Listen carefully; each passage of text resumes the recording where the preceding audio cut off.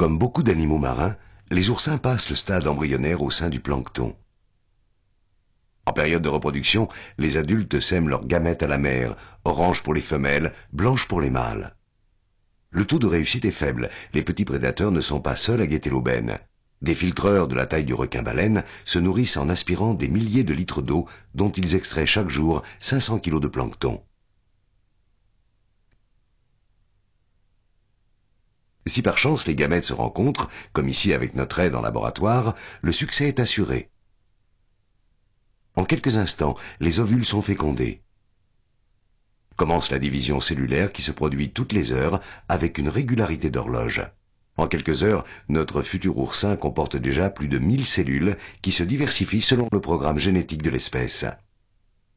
Peu à peu, la larve s'allonge. Pour un bref instant de son existence, l'oursin nage dans le courant. Il dispose maintenant d'un système digestif complet, absorbe du phytoplancton et rejette ses déchets. Bientôt apparaissent ses ventouses, avec lesquelles il se déplace et cherche sa nourriture.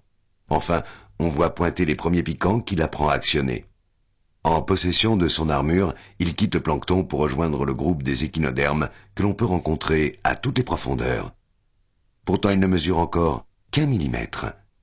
Il atteindra sa taille adulte, gramme après gramme.